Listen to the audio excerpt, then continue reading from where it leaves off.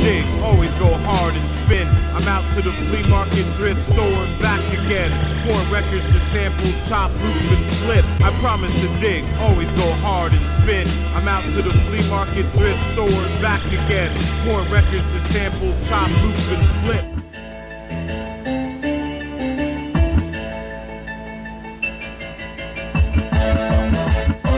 Oh shit, what's going on, peoples?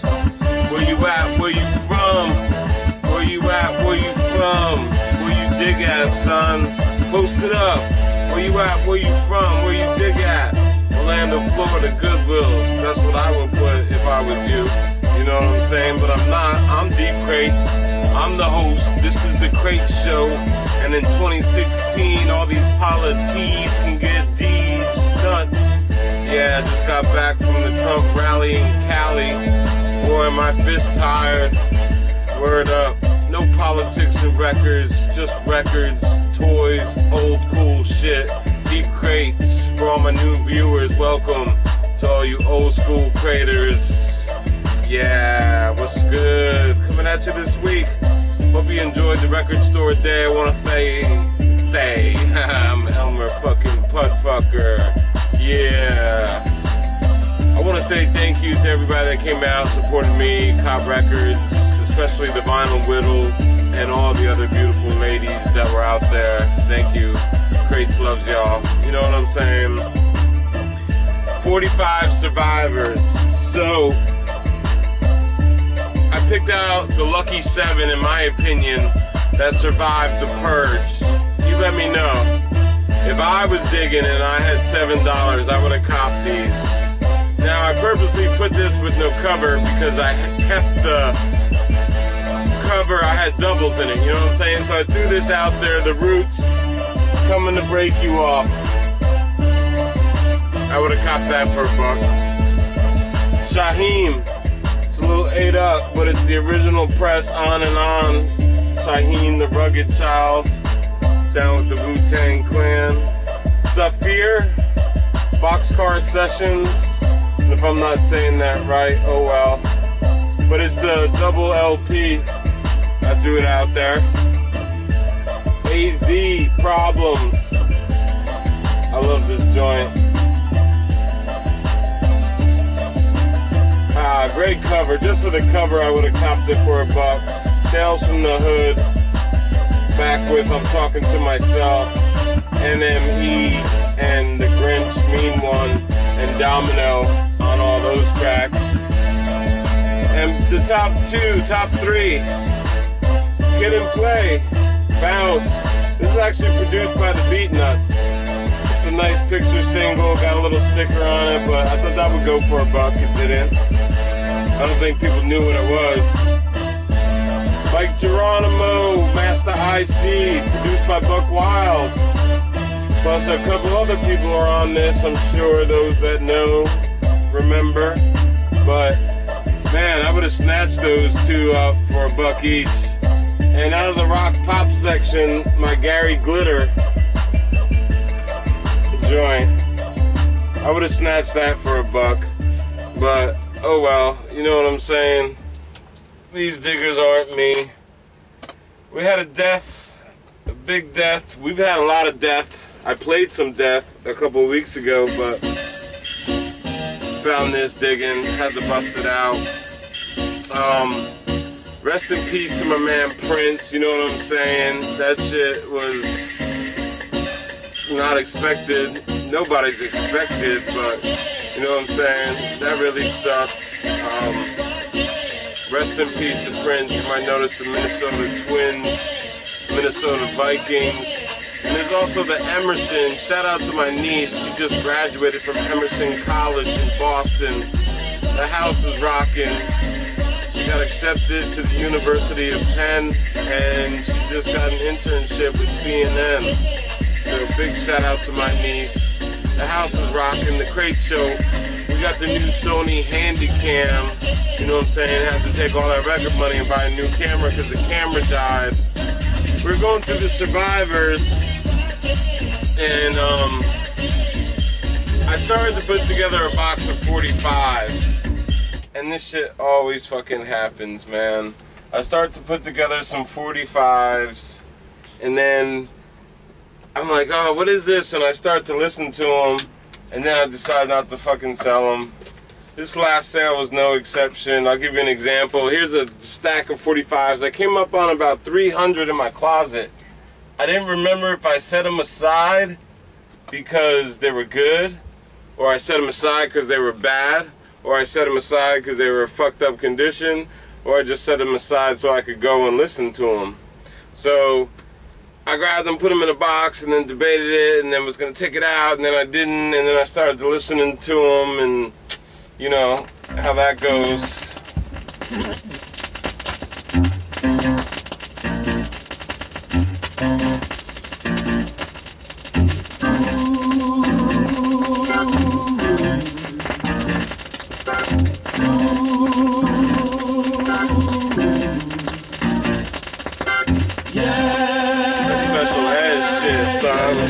Can't sell that, even if it is up. Ah, well, yeah, I can. I gotta.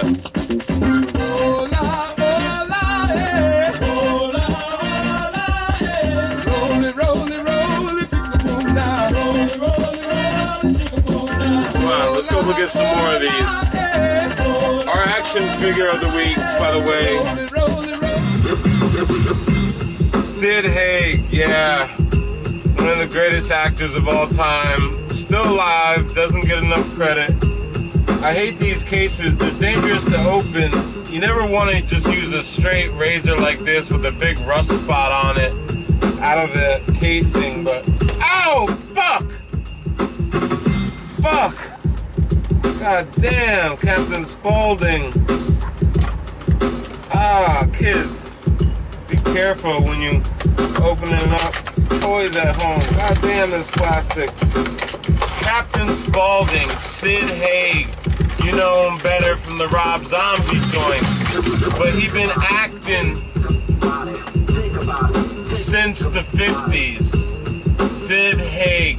He been every villain in every one of your favorite shows growing up.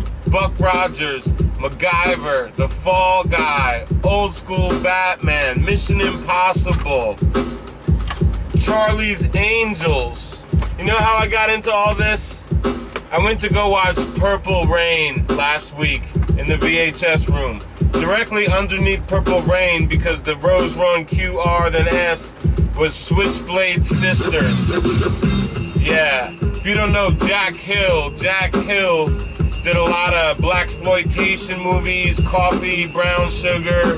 He did Switchblade Sisters. Um, so I watched that. Sid Haig's in that. Sid Haig. He's also in a lot of Roger Corman flicks. Here's the LP soundtrack to The Wild Angels, a great Roger Corman classic. Think about it. Sid Haig, Jack Hill, Roger Corman. Three very respected old gentlemen that if you don't know about, I hope you take the time after this show to go learn about their filmography and career and life. Pay respects, yeah. Sid Haig, action figure of the week. Did you know he turned down the role of Marcellus Wallace in Pulp Fiction? Deep Crates Fact of the Week. Ving Rhames eventually became Marcellus Wallace, but allegedly it was offered to Sid Haig. He was also a great villain in Charlie's Angels. That board game survived this week. We'll see you next week. I gotta go get this shit stitched up. Goddamn packaging. Oh man.